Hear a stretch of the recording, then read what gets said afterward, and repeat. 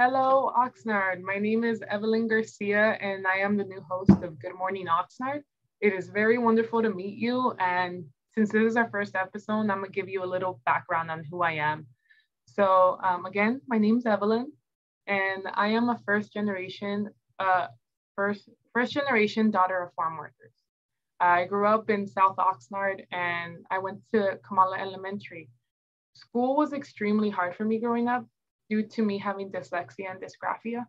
My mom not speaking English, um, it was very hard for her to try to help me, but she found resources in her community that allowed me to get tutoring and the help I needed to get advanced and start going to honor honor classes when I went to E.O. Green Junior High School.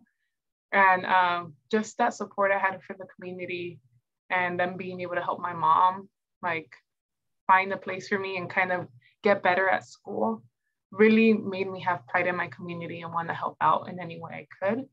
So when I got the chance to, when I was 13 and about to go to um, Hueneme High School, I was volunteering for Congresswoman Julia Brownley when she was trying to get elected. And from then on, I got really involved in the community in uh, a nonprofit named Cause, which does wonderful things for our community and help helps us a lot. Um, with them, I was really involved with the youth committee, as well as um, getting better school lunches for our high schools and fighting the Puente power plant, which if you remember was a proposed power plant to be built on our beach. Um, and I loved every second of being involved with them. Uh, it was during high school and they never made me feel like I was just a kid. They made sure I was directly involved in everything. And being surrounded by such strong leaders literally gave me the passion, gave me the confidence in my voice. And those are one of the fondest memories I have because it made me who I am. And I just remember um, road trips to SF to talk to state commission boards or going to Sacramento to protest and stuff like that, all to help my community. And it was fun. We got to make parodies of songs to get the word out and just be involved in any way possible. And uh, I just love that my community has always had this spark and this passion to it that makes me want to be involved with them. Even when it was to playing sports in high school, which was swimming and basketball, I just love how it felt and the people in this community. I love being competitive.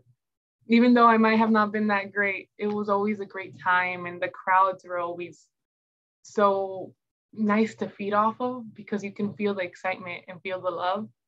And I just kind of miss being away when I was in college because something about Oxnard is special and the people here. And I am very happy to be back. Um, I did love going to college. I went to UC Davis for four years and got a degree in communications, um, which really sparked my interest in film and production as well as media. And that is my long term goal and now that I'm back in Oxnard, what I want to do with my communications degree is I want to create a trusted media source in my community by hosting the Good Morning Oxnard show. And having y'all give me any suggestions or people to interview would be amazing because I really want to get this started in the community because I feel this is something we need and this will be a great start to multiple other projects our community could do. And so yeah, that's my introduction as who I am and me growing up in Oxnard, and I'm excited to work with all of you to get this started. Thank you. It was super nice talking to you.